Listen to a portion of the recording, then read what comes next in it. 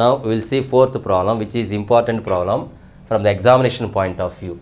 Find the values of x and y if x matrix uh, if first matrix is given as 1 2 3 3 second matrix is given as x 0 0 y.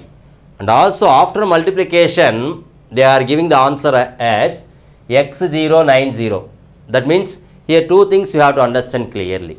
First you have to multiply these two given matrices then for that answer again you have to equate this matrix. That means here two concepts you are using. What are the two concepts you are using? Here multiplication of matrices you are using. Multiplication of matrices. This is the first concept we are using. Multiplication of matrices and also equality of matrices. Equality of matrices. So these two concepts you have to use to evaluate the values of x and y so these two concepts are very useful to evaluate the values of x and y. Now using those two concepts, we'll find the value now. Now what is the order of first matrix? 2 by 2. Now what is the order of second matrix? Again 2 by 2. So here the orders are same.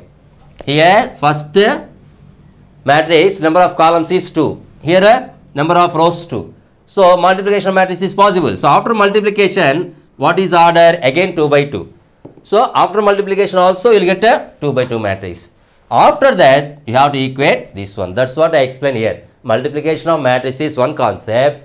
Equality of matrix is another concept. Now we will see the first answer now after multiplication.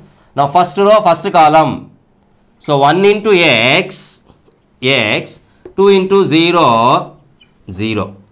Similarly first row second column 1 into 0, 0, 2 into y, 2y. Next 3 into x second row first column. So 3 into x 3x. Next second row second column 3 into 0 0 3 into y plus 3y. Now is equal to x 0 9 0. So now if we equate the corresponding elements here first we will simplify then we will equate the corresponding elements. X plus 0 x because there is no value for 0 then 2y here 0 there is no value.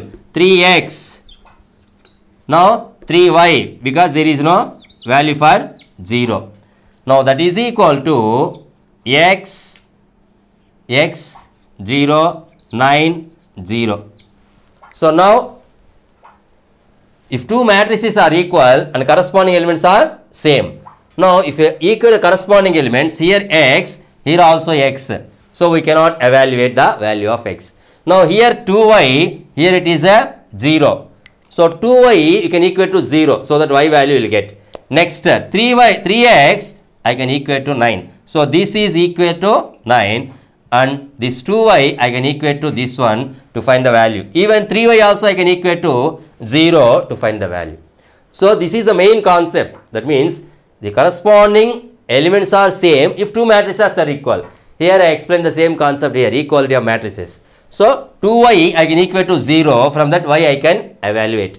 3y I can equate to 0, from that y I can evaluate. That is up to you. Anything you can equate. But x value if you want to evaluate, I should equate this uh, and uh, this because this is present in which position? Second row first column. Second row second that's why i showed with the arrow mark. Same position. Okay so now 2y is equal to 0 now 2y is equal to 0 y is equal to 0 by 2 nothing but 0 so this is the value of y. Similarly what about x 3x is equal to 9 9 now x is equal to 9 divided by 3 3 ones 3 3s. So x value we got, y value we got. Therefore, x is equal to 3, y is equal to 0. So that is your answer. So for x is equal to 3, y is equal to 0, these values are possible. So only thing is you have to use these two concepts to understand this uh, problem x and uh, y. So in this way we are having another problem also the same procedure, same manner you have to follow. That means first you have to multiply, then equate the resulting matrix to this one, then use these two concepts to find the x as well as y. These two concepts are very very important. Then after finding y value, x value, you underline the answer. So this is your answer. x is equal to 3 and y is equal to 0. Now in the same manner, we will see uh, some other problem.